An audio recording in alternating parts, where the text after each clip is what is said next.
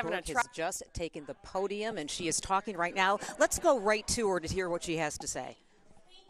being here. We are leading in the polls, and we have been leading the whole night with a current lead of just, yes, we have a current lead of just under 12,000 votes.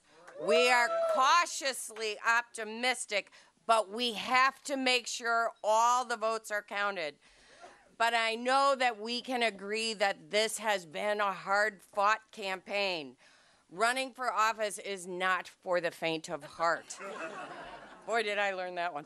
Uh, and while we may have had our differences in this election, we all share the love for this city and this county. I know that the love for this place that we call home is something that you all share as well. It's why I stepped down from the appellate court to run for this job. This is truly the most beautiful city in the world. The skyline of this city takes my breath away each and every time I see it. I was born and raised here. I met my husband here. We raised our four children here. My family has been here for generations. There they are, they're waving.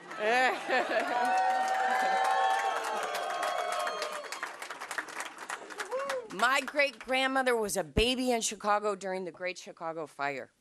I got into this race because I did not want to give up on Chicago. And I know tonight that I can say that none of you want to give up on Chicago either, and that's why you're here.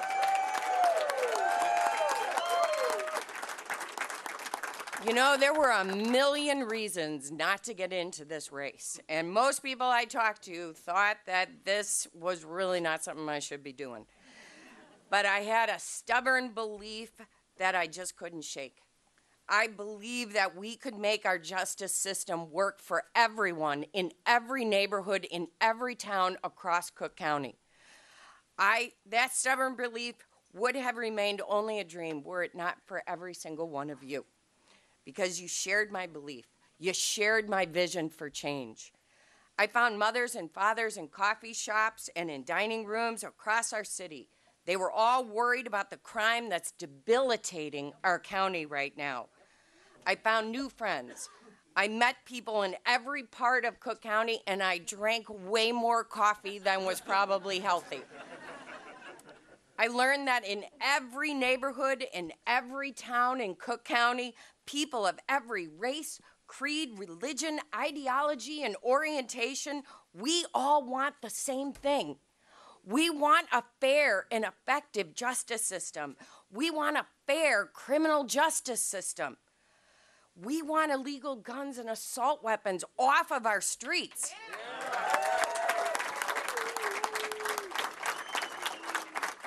We want less crime and safer communities, not by locking everybody up, by, by turning people around.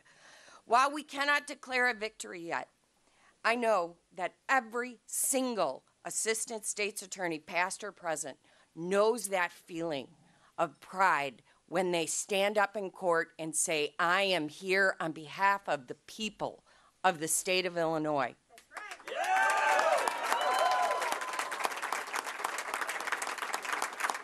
The state's attorney's office has a noble mission a mission to represent victims, a mission to uphold the law.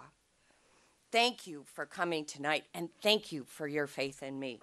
We will be patient, and we will let the democratic process play out, and we will build a safer, more just Cook County together. Thank you. Thank you.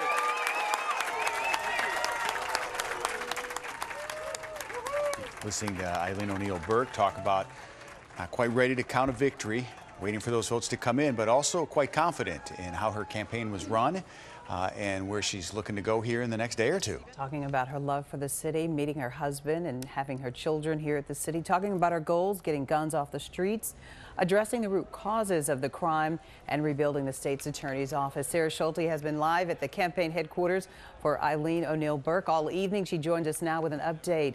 Sarah. Well, Cheryl, you just heard Eileen O'Neill Burke, who said we have to be patient and we have to let the democratic process play out. She said she will not be declaring victory, not doing anything until all those votes are counted. Again, as we have been reporting earlier, there are a lot of those mail in ballots in the city of Chicago that still need to be counted. She also said she certainly admits this was a very hard fought campaign. Now, O'Neill Burke ran as kind of the change candidate, the anti Kim Foxx candidate. Her supporters are moderate Democrats and also the business community, many who are here tonight, and people who are just fed up with crime. Now, O'Neill Burke did something that was really almost unheard of in the uh, judicial community. She gave up her seat on the appellate court to run for state's, state's attorney. She has over 30 years of experience. She has been a prosecutor in the state's attorney's office. She's been a defense attorney. She's also been a circuit court judge and, of course, an appellate court judge. And she wants to bring all of that experience into the state's attorney's office if she wins. She says she wants to transform the second largest prosecutor's office in the, the country.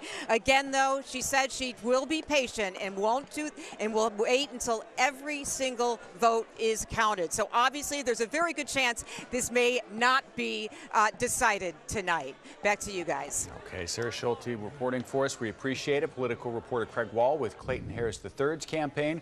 Craig, do we expect to hear from Mr. Harris III? We do expect to hear from him, and right now, what you're hearing from supporters is cheers of support as they see that deficit continue to shrink, something it has been doing all night. Hopes growing here as the night has gone on. Now, Clayton Harris was posing for a picture with his wife and two sons earlier tonight. He's off in his side room by himself as he's watching these returns that have been getting more encouraging for him as the night goes on. The campaign and supporters watching the results. This was always expected to be a very close race, both sides admitting that. It's gotten tighter all night long. Harris is expected to come out and address supporters sometime tonight, perhaps waiting to see what O'Neill Burke was going to say. But his message is likely to be similar to what we just heard in that it is too close to call. Board of Elections estimates that of the 109,000 outstanding mail-in ballots, there still could be 70 to 80,000 that are likely to be returned in the next couple of days. There's have a total of two weeks to get those in if they were postmarked by today. Harris's supporters believe that the endorsement from the Cook County Democratic Party bodes well, and they believe they can count on getting a higher percentage of those mail-in ballots. But who knows where they're coming from? Earlier today, Harris talked about the campaign message that he was hoping would resonate with voters. We want people to know that we're intimately uh, familiar with both safety and justice, and we're focused on that. That has been my stump speech the whole time: is that we can do more than one thing at a time. We can be safe and just at the same time. So we hear and understand people that are worried about uh, the carjackings, the smash and grabs, or whatnot. But we also understand that people are worried about, you know, the administration of justice. So we're focused on both. So with those votes shrinking now down to about 10,000, they were closer to 20,000 when the night first began. You can hear another cheer as more good news seems to come in for this campaign again. They have been cautiously optimistic and hopeful as the night goes on, and I sense that they are getting even more hopeful as things shrink. Again, we don't know when Clayton Harris may come out, but we do expect him to come out, and he's likely to tell people, similar to what we heard, too close to call. We're going to wait till all the votes get counted. That could mean several days. Watch breaking news on YouTube. Subscribe to ABC7 Chicago Eyewitness News.